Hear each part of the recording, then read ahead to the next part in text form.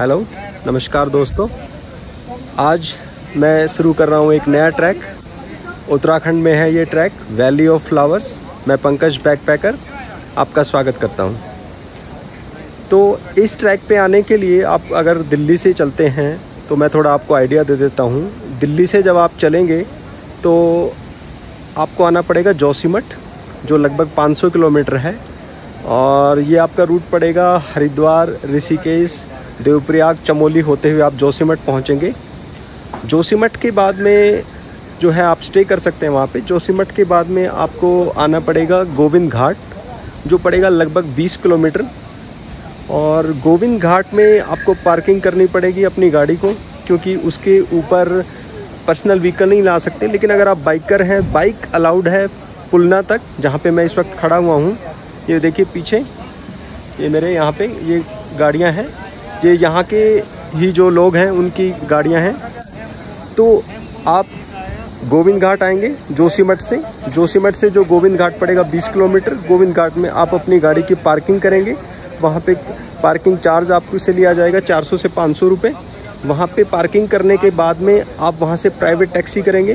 Private taxi जो है, उसका चार्ज होता है यहाँ पे चार सौ और टैक्सी का, पूरी टैक्सी का चार्ज ये। चाहे उसमें आप दो बंदे बैठें, चार बंदे बैठें, पाँच बंदे बैठें। तो गोविंद घाट से जो पुलना है, वो पड़ता है तीन किलोमीटर और वहाँ से आप टैक्सी से आएँगे और अब जिस जगह मैं खड़ा हूँ, वो है यहाँ पे पुलना। और पुलना से अब ट्रैक शुरू होता है। ये देखिए, यहाँ से अब ट्रैक शुरू होता है और आप चाहें तो यहाँ से ये घोड़े भी ले सकते हैं। लेकिन अगर आप ट्रैक करना चाहें तो यहाँ से ट्रैक करेंगे। और ये जो, यहाँ से जो ट्रैक पड़ेगा पुलना से ये वैली ऑफ़ फ्लावर्स बेसिकली शुरू होगा गंगरिया से। तो हम यहाँ से पुलना से अब जाएँगे गंगरिया, जो पड़ेगा हमें 10 किलोमीटर। और पुलना से जो गंगरिया जाएँगे, वो भी हम पैदल चल के जाएँगे। तो लगभग चार से पाँच घंटे उसमें लगेंगे, गंगरिया पहुँच जाएँगे। गंगरिया में आप होम स्टे ले सकते हैं और स्टे कर सकते हैं, या फिर जो है आप ऊपर जाएँगे वैली ऑफ़ फ्लावर्स का। यानी जो बेसिकली जो ट्रैक शुरू होता है वैली ऑफ़ फ्लावर्स का, वो गंगरिया से शुरू होता है।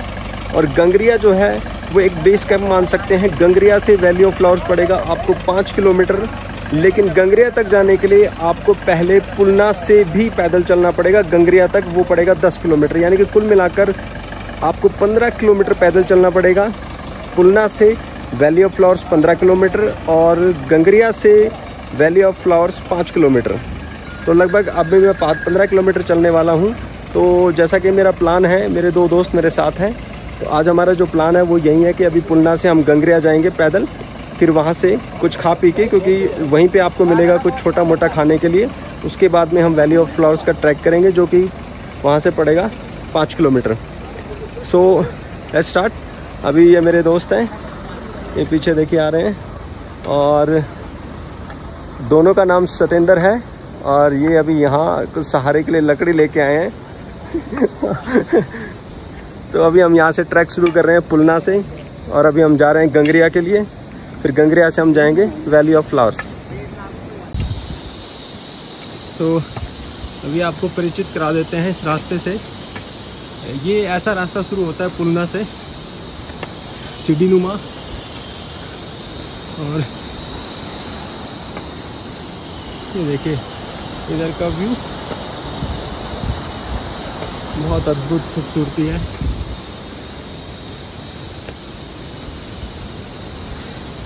हमने जो ट्रैक शुरू किया है वो साढ़े दस बजे शुरू किया है पुलना से। और आज जो दिन है, वो है चार अक्टूबर, रविवार का दिन।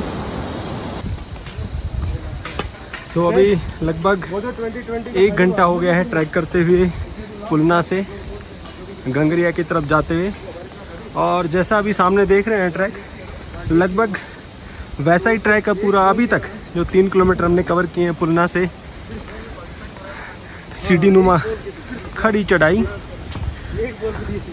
मौसम बहुत अच्छा हो रहा है। धूप खिली हुई है ठंडी हवाएँ हैं। और ये हमारे दमदार प्लेयर चढ़ते क्या लाए हो धोलिया?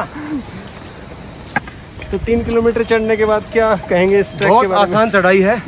और ये आज तक की मेरी सबसे आसान चढ़ाई उसमें है? है इससे पहले चार बार माउंट एवरेस्ट पे जा चुके मैं जा चुका हूँ। और दो बार ये उस पे कंचनजंगा पे चढ़ चुके हैं। कल ये माना में चाइना में पत्थर मारने के लिए गए थे लेकिन अलाउ ही नहीं किया माना पास पे। और बहुत ही आसान रास्ता है। मैं एक बार वापस ऊपर जाके दोबारा फिर आऊँगा। वाह क्या फिर बात है। चढ़ूँगा। ये जो हौसले हैं। यही आपको जिताएँगे इस रास्ते पे।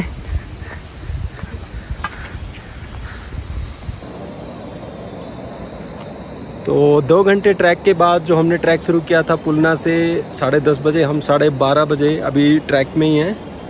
और ये देखिए, पीछे बड़ा अच्छा व्यू है यहाँ पे। मैं आपको दिखाता हूँ। ये हिमालयन जो रेंज दिख रही है आपको। और अभी तक ये जो मेरे पीछे जो आप रास्ता देख रहे हैं, लगभग ऐसा ही रास्ता है। अभी तक जो हमने कवर किया है, इन दो घंटों में तकरीबन हमने जो छः किलोमीटर कवर किए हैं, वो लगभग इसी प्रकार का रास्ता है। अभी हम जा रहे हैं गांगरिया। हमारा अनुमान है कि जो पुलना से गांगरिया का जो 10 किलोमीटर का रास्ता है, उसको हम लगभग दो बजे तक कवर कर लें, ताकि उसके बाद हमें फिर वैली ऑफ़ फ्लावर्स के लिए निकलना है, जो कि अराउंड फाइव किलोमीटर फिर वहाँ से पड़ेगी। थकान भरा ज़रूर है, लेकिन जैसे ही आप प्रकृति के सौंदर्य को देखते हैं तो आपकी थकान भी दूर होती है। पैरों में एक जान सी भर जाती है। तो अभी कैफ़े में हमने पराठे और मैगी खाई है। उसके बाद फिर से सफ़र को शुरू कर दिया है गंगरिया की तरफ़। एक बज गया है यानी हमें चले हुए हो गए हैं ढाई घंटे और हमने कवर किए हैं अराउंड साढ़े पाँच किलोमीटर। लगभग जो आप देख रहे हैं लगभग ऐसा ही ट्रैक है अभी तक। उतार चढ़ाव का खेल जारी है। मौसम बहुत अच्छा है। सो so, ये देखिए आपको दिखाते हैं नज़ारे। बहुत खूबसूरत व्यूज़ ये नदी बहती हुई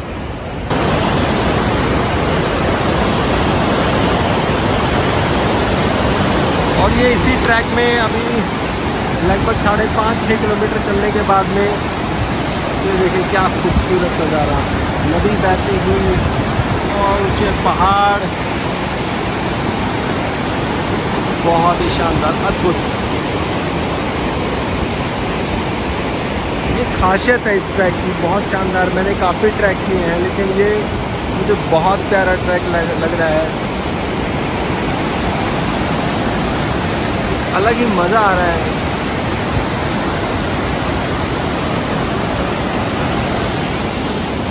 अभी मैं थोड़ा नीचे जा रहा हूँ।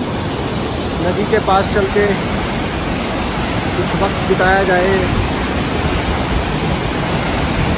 सफ़र को और खूबसूरत बनाया जाए।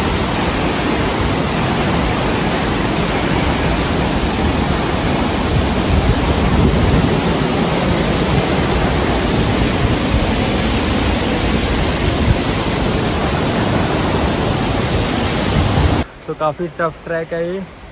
अभी तो हम गंगरिया भी नहीं पहुँचे हैं लगभग गंगरिया पहुँचने में अभी दो किलोमीटर बाकी हैं। साँसें फूल गई हैं।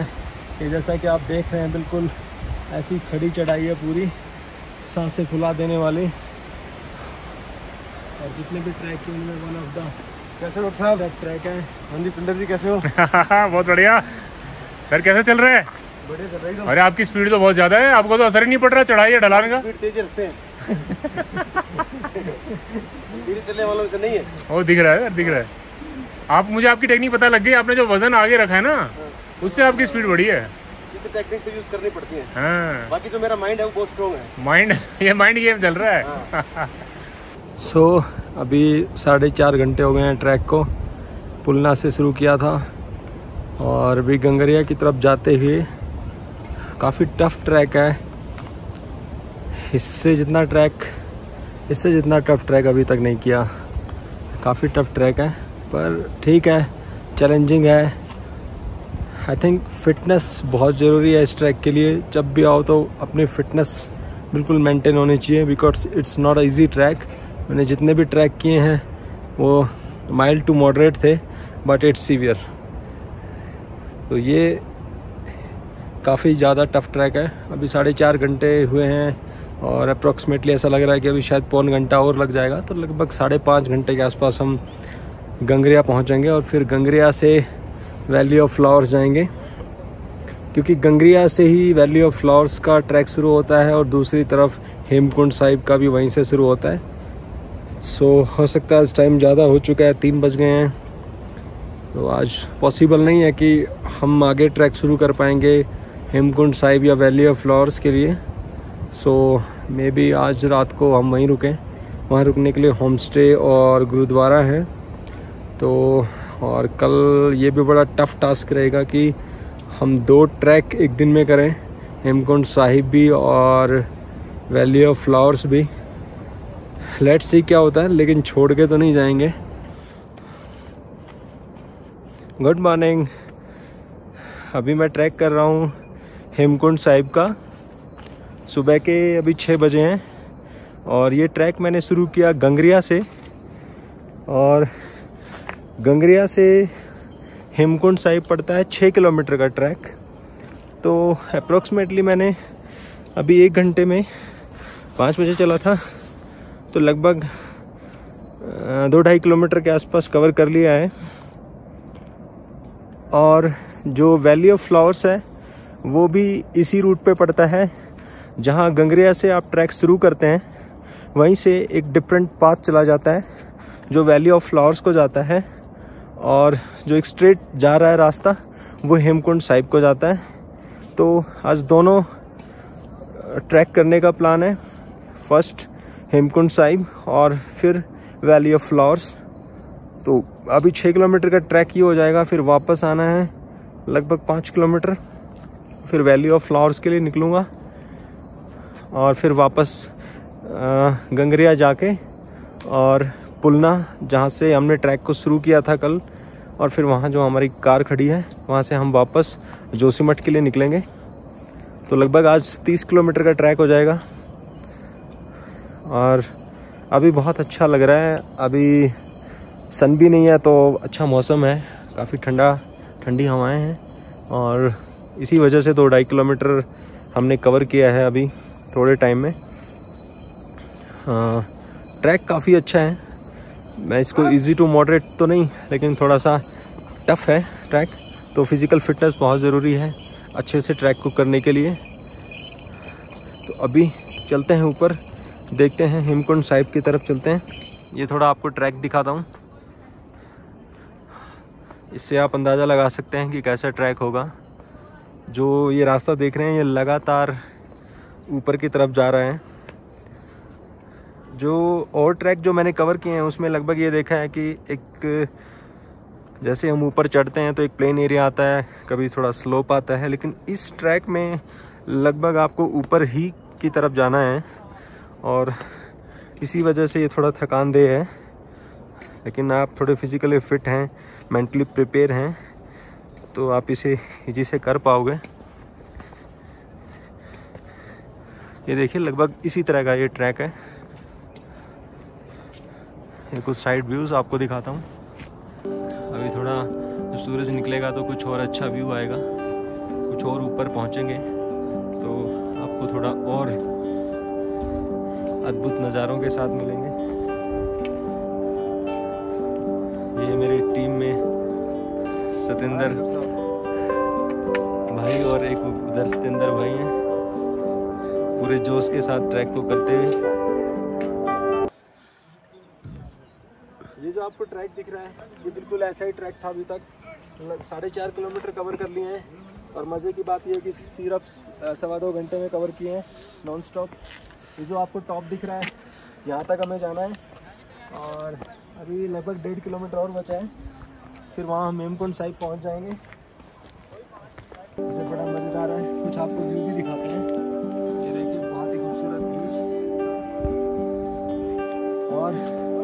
one of the toughest trek रहा।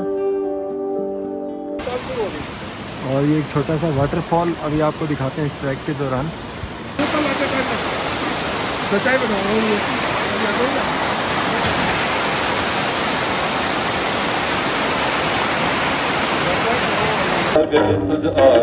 सो so फाइनली चार सवा चार घंटे की ट्रैकिंग के बाद मैं हेमकुंड साहिब पहुँच गया हूँ। ये देखिए, हेमकुंड साहिब का गुरुद्वारा है।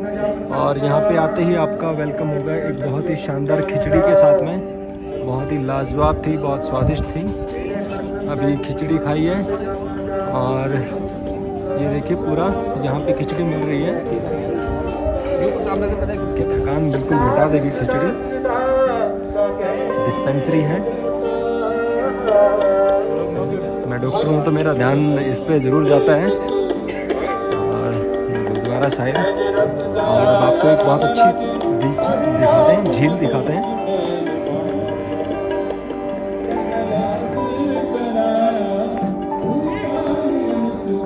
बहुत ही आनंद अनुभव होता हुआ यहाँ पर हेमकुंड साहिब पहुँचकर।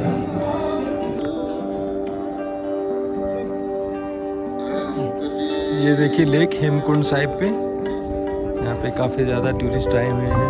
बहुत श्रद्धा है हेमकुंड साहिब की। बहुत ही खूबसूरत लेक और क्रिस्टल क्लियर वाटर और ये बगल में आप देखिए यहाँ पर गुरुद्वारा है। यहाँ पे अरदास होती हुई। ये गंगरिया से मैंने ट्रैक कंप्लीट किया। सवा चार घंटे में साढ़े छः किलोमीटर का ट्रैक और बहुत आनंदित महसूस हुआ बहुत थकान जैसे मिट गई हो इस खूबसूरत दृश्य को देखकर। तो ये था सारा कुछ हेमकुंड साहिब ट्रैक के बारे में। मैंने आपको पूरी डिटेल में बताया कहाँ से शुरू होता है, कहाँ ख़त्म होता है। दिल्ली से मैं चला, जोशीमठ पहुँचा, जोशीमठ से मैं गया। गोविंद घाट गोविंद घाट से पुलना और पुलना से ट्रैक है दस किलोमीटर का गंगरिया का और गंगरिया से साढ़े छः किलोमीटर का ट्रैक। और फिर हम पहुँच जाते हैं यहाँ पर Hemkund. Thank you so much guys for watching my video